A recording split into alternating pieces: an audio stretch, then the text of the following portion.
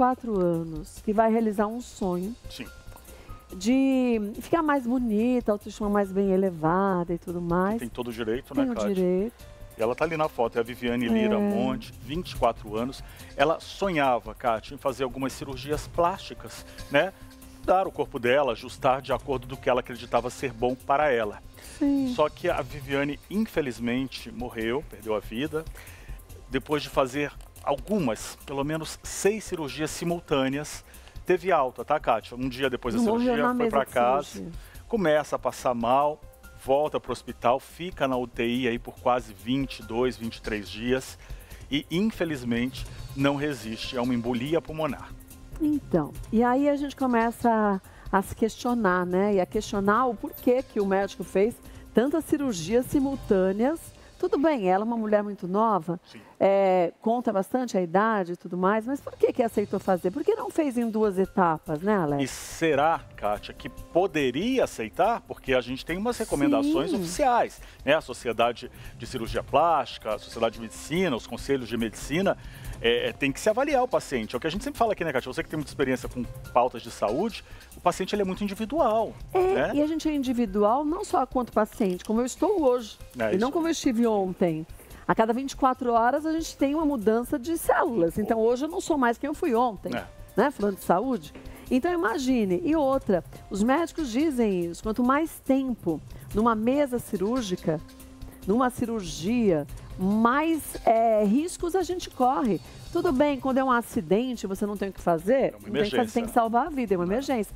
Mas no caso de cirurgias estéticas, não há de se considerar isso. Mesmo que a es- a pessoa esteja em plena saúde, né? E você sabe que a própria Vivian, ela teve, a Viviane, desculpe, ela teve ali dificuldade para encontrar um médico que fizesse todos esses procedimentos, esses seis Ela queria procedimentos. fazer de uma vez. Ela queria fazer de uma vez, enfim, ela acreditava que talvez para ela fosse melhor, né? Mas ela é leiga, era É, leiga. ela não sabe. E A os- gente não é alguns obrigado a médicos saber. Uhum. falaram não para ela, até que ela chega no que é um profissional, até o primeiro momento ele tem um CRM, é um profissional, e aí começa uma situação complicada, porque ele pede para receber à vista, Kátia. É, agora uma coisa, ele tem CRM, ele é médico, Sim, mas ele fez cirurgia plástica, pois é. né? Ele é membro da Sociedade Brasileira de Cirurgia Plástica. Quando a gente fala isso, eu não estou condenando a, a Vivian, né? Não, não. Muito pelo contrário. A gente, como leigo, a gente não é médico, a gente não é obrigado a saber. Não, a Mas um como saber. médico tem Não. que ter responsabilidade pelo que ele aceita fazer. E um médico tem que falar pra gente, olha, não dá pra se fazer isso por esse, esse, esse, esse motivo. Como muitos falaram, alguns pelo menos falaram não para ela. Sim. E esse, infelizmente, aceitou. Só para falar, Kátia, rapidinho, em cirurgias, que as pessoas às vezes ficam curiosas, Aham. ela quis fazer a redução de mama, aí ela fez também tudo isso no mesmo procedimento, ali no mesmo horário. É, lipoaspiração, Kátia, do abdômen, dos braços, as costas, fez no pescoço e ela fez a lipoenxertia glútea, que eu acho que é quando... Ela tirou a gordura, que era ali por escultura que se falava, tira né? a gordura do corpo e coloca no glúteo, no bumbum. É, ela- Olha, a gente está com o marido da Vivian, o Renan Santiago. Antes de mais nada, Renan, nossos sentimentos. E, e entenda, a gente não está julgando a Vivian em hipótese alguma. Não sei se ele está tá ouvindo a gente. A gente não está julgando. Oi, boa tarde. A gente não está julgando a sua esposa, não. A gente está dizendo que a gente, como leigo, a gente não é médico, então a gente desconhece o que pode acontecer com a vida da gente. Mas o médico que aceita tem que ser responsabilizado por isso. Você concorda? Concordo absolutamente. E, ela muito nova, 24 anos, né? Ela relatou quando ela voltou do hospital como ela se sentia? Ela chegou no hospital já muito mal. Ela recebeu alta muito mal, sabe? Ela não estava urinando, ela não conseguia urinar aqui dentro de casa. Tanto que no dia seguinte eu já levei ela para a UPA, né? E na UPA já disseram que era caso de urgência, que ela tinha que ir urgente para UTI, que ela estava com esse problema no pulmão. Aí nisso foi aparecendo mais problemas, até que aconteceu o que aconteceu. E aí a gente, a gente imagina a, a tua dor, não só agora, mas durante esses dias, de simplesmente levar a sua esposa para realizar o sonho dela, né? Para ela realizar esse sonho. De repente ela volta. E se não estava nem fazendo xixi, não estava nem urinando, o próprio hospital e o médico não podiam ter liberado ela para ir para casa, né? Ela, fez a cirurgia 8 horas da noite. Quando foi 11 horas, já estavam me ligando para me pegar ela. ela saiu sem, a, sem o dreno. Ela saiu do jeito que estava lá, ela saiu sem dreno, sem nada. Mas deixa, deixa eu te falar uma coisa. Ela operou às 8 da noite. Quer dizer, ela foi para o centro Não, cirúrgico. ela terminou a cirurgia às 8 da noite. Tá, ela começou a cirurgia que horas, você lembra? Acho que umas 9 nessa faixa. Foi pela manhã. 9 da manhã até às 8 da noite. Correto, isso. 11 horas de Então, veja, cirurgia, né? Aí ela foi liberada nas 11 horas da manhã do outro dia, não é? Do dia seguinte, eu já peguei ela já. Sem dreno, sem nada. É, mas aí... Essa, essa até... Ah, Pode falar. Pode falar, pode falar. Essa foto aí foi antes dela fazer a cirurgia. Então, mas quanto ao dreno, existem alguns procedimentos que hoje em dia eles já não fazem o dreno como faziam antigamente, ok. Mas não se pode liberar. É, e eu não sou médica, mas eu já passei por cirurgias. Enquanto a gente não faz xixi e não consegue evacuar Ah, e não faz cocô, não os libera. médicos não liberam.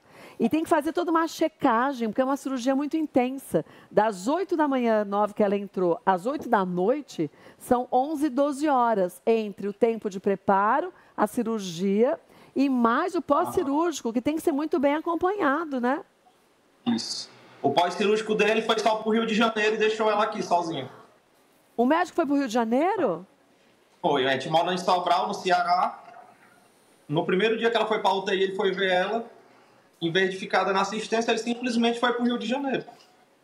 Foi isso. O Renan, é o Alex que está falando aqui, e ele fez questão que o pagamento fosse à vista, em dinheiro, né? À Tinha uma- vista, à vista que era pra não emitir nota. A vista que era o quê? Pra não emitir nota fiscal, uma coisa assim do tipo. Para não emitir nota. Ia dar um desconto pra ser à vista. O que já é algo, algo ilegal. O Renan, a gente está vendo aqui, sabe que hoje que a gente recebeu as imagens, você até mandou para a gente, muito gentilmente, mais cedo, para a Bárbara, o momento que ela estava indo, que vocês estão ali brincando, você abraça ela, aperta ela um pouquinho, e ela fala que ela está indo realizar o sonho dela. E eu vi que você se emocionou um pouco agora quando a gente viu aquela última foto, antes dela entrar para a cirurgia. Como é que está o É teu tava coração? muito- Como é que está teu coração nesse momento? Como é hoje entender que infelizmente a Vivian não volta, a Vivian não vai estar aí, e que a Vivian estava em busca só de um sonho, ela só queria se sentir realizada, né? É. E o pior de tudo isso é que ela, ela foi para fazer duas cirurgias, né? Ela foi para fazer a mama e fazer a lipo na barriga, né? Depois que ela fez essa consulta com ele, ela chegou para mim, amor, vou fazer tudo, vou fazer braço, vou fazer é, papada, vou fazer. Ela, ela chegou com, com outra cabeça quando ela veio dar consulta com ele, entendeu? Então, peraí, não foi ela que quis fazer essas cirurgias todas, ela foi para fazer só a mama, Ela tinha, ela tinha interesse de fazer, mas não de uma vez. Mas não é, é isso. Aí quando ela voltou da consulta com ele, eu não sei se ele barateou o preço, não sei qual foi a intenção dele, eu não sei o que ela conversou com ele, porque eu não fui para a consulta, mas ela já veio com essa que ia fazer tudo. Então, mas que eu vou até te falar que até a gente queira fazer tudo. Eu quero fazer tudo de uma vez, pelo menos eu sou por uma vez só. Mas é um médico que tem que falar pra gente que a gente não pode fazer. Ou então, Ele assim, passou total confiança que podia fazer, que não tinha perigo. Ele passou Ele total confiança né? para ela. Agora, depois do falecimento da Vivian, depois que ela veio a óbito, esse médico entrou em contato com você? Ou ele acompanhou depois no quadro que ela foi piorando ou não? Pronto, o que ele acompanhava era por telefone. Isso a gente tinha que ficar ligando para ele, perturbando ele, para ver se ele tinha notícias dela lá, entendeu? Dentro do hospital. Mas com você ele nunca falou. Não, ele falava comigo, eu ficava perturbando, doutor, como é que ela tá? Doutor, como é que ela tá? Os médicos de lá me diziam que ela tava mal, sabe?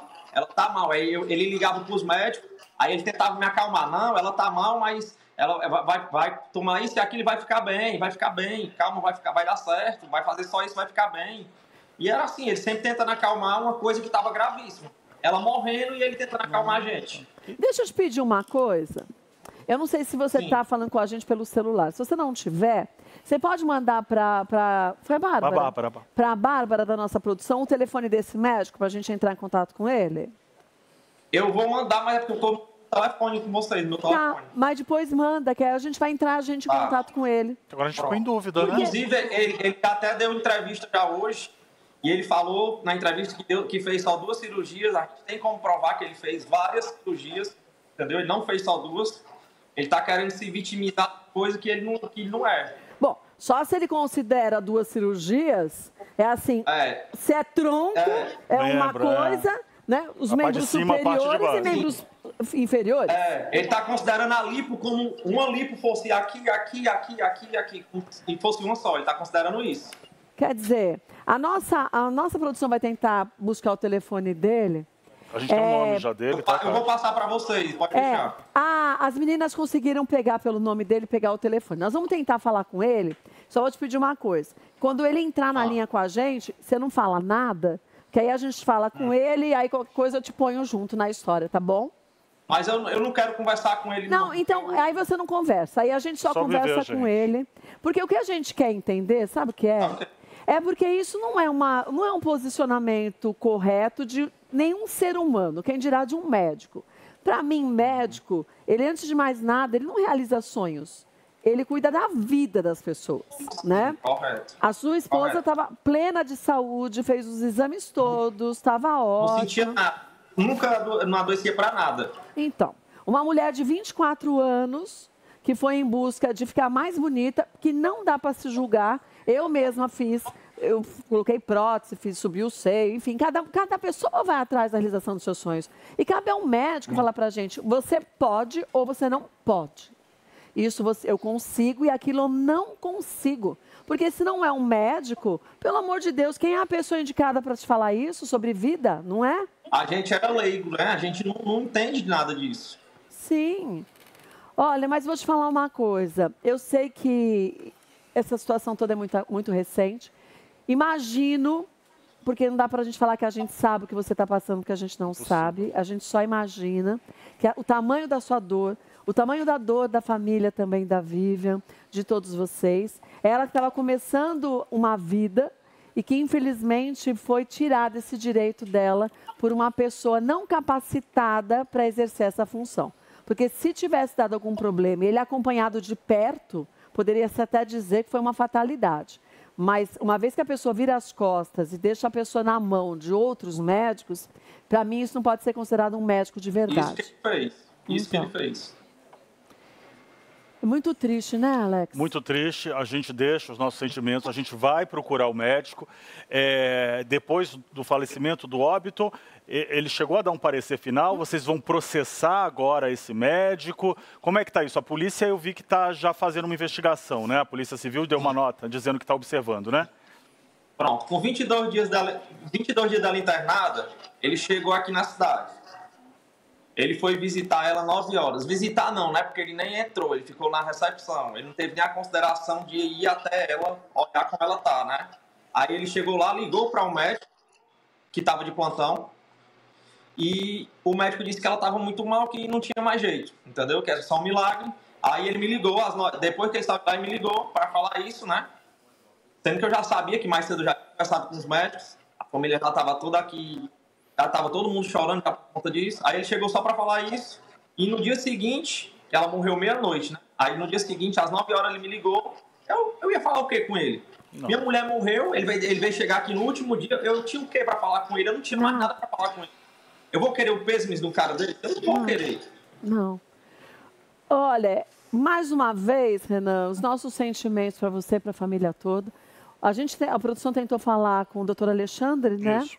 Ele deixa cair na caixa postal, ele não está atendendo. A gente vai continuar tentando falar com ele, a gente não vai desistir, porque toda vez que a gente desiste, a gente incentiva as pessoas que agem de uma forma errada e que não têm o direito de terem um CRM, que façam a mesma coisa que sofreu a Vivian, que você está sofrendo, isso com outras famílias. A gente não pode aceitar isso, não. Então, conte com a gente no que precisar, de qualquer suporte. obrigado. Pode falar com a gente, comigo pessoalmente, tá bom? Tá bom, Kátia, obrigado. Força Fica com. Deus, viu? Um beijo Tá, pra você. obrigado. Ai, gente, que tristeza. Como que a pessoa não atende o telefone? Deveria, né, Cássio? Ah, gente, Doutor Alexandre de Carvalho. Colombarteri é o cirurgião, disse que já deu entrevista, a gente ainda não teve acesso, imagino que seja para um outro canal. Ele é membro da Sociedade Brasileira de Cirurgia Plástica? Ah, a gente achou o conselho dele de medicina, no Rio de Janeiro, inclusive. Mas não de... A Sociedade de Medicina ainda não respondeu pra gente porque não estava online a Sabe consulta. por quê? A gente podia falar com o doutor Cataoca. Ah, ele é que ótimo. ele é membro da Sociedade Brasileira de Cirurgia Plástica e mais do que isso, ele é um dos, ele é Legal. perito em analisar os casos e verificar se de fato o Houve médico um- errou, foi um erro médico ou não. Foi A gente podia entrar em contato com ele. Vamos falar esses com ele. dias. Acho que sim. Se Doutor você quiser, amanhã a gente já conclui amanhã. Porque, gente, é um absurdo isso, não é? Revoltante. Ah, gente. Do demais. nível de irresponsabilidade ao lidar com uma vida. E é tão complicado, porque foi o que ele falou. Imagina a dor da família quando está sabendo é, que isso, em poucos minutos ou poucas horas, isso já ia acontecer num momento em que era para ser comemorado o resultado de um sonho que ela estava Pois realizando. é. De vida, né? De né? uma res- E irresponsabilidade outra, absurda. se ele tivesse acompanhado com ela o tempo que ela estava no hospital, Sim. tivesse dando suporte, Papel tivesse- dele, né? mas fica na recepção falando pelo telefone com o médico. Entendeu? E, e se houve, e esse, como ele falou, né, esse estímulo. Você sabe que antes da gente fazer essa entrevista, Kátia, a gente fez pessoal até entender uma pré-entrevista com ele. Sim. E esse assunto que ele traz ao vivo pra gente é novo. A primeira informação que a gente tinha é, era de que ela tinha ido buscar isso, que foi até as outras é, entrevistas que ele deu, mas ele traz essa novidade. Se esse médico estimula, como ele disse, a gente não está questionando o que o, o- o marido O dela está falando, o Renan está falando, mas se ele faz isso, aí é algo muito criminoso. né, Mas Kátia? mesmo que ela quisesse, mesmo que eu queira fazer da testa até a unha do Ele pé. errou desde o momento que ele aceita. E o se estimula, pior ainda. né? É, muito triste, viu? Bom, Assustador. a gente vai ficar olhando essas coisas. E, e, gente, busque, para você fazer uma cirurgia, busque o CRM do médico, se é uma cirurgia comum. Veja se de fato é uma pessoa capacitada para aquilo. Veja se tem alguma denúncia contra o médico. Cirurgia plástica, só faça com médicos, membros da Sociedade Brasileira de Cirurgia Plástica. Sabe por quê? Porque ele é médico e ele estuda mais 500 anos Pra aquilo, cirurgia né? plástica para poder fazer logo o que precisa ser feito. E se a pessoa quer te dar um preço baixo, não quer nota fiscal, pagamento à vista, cai fora, gente. Pelo amor de Deus, é tua vida na mão de alguém. É muito sério. E a gente não pode entregar o bem mais precioso que a gente tem em qualquer mão, né? Que é a única, né? Pois Essa aí não é. tem volta, infelizmente. Muito triste.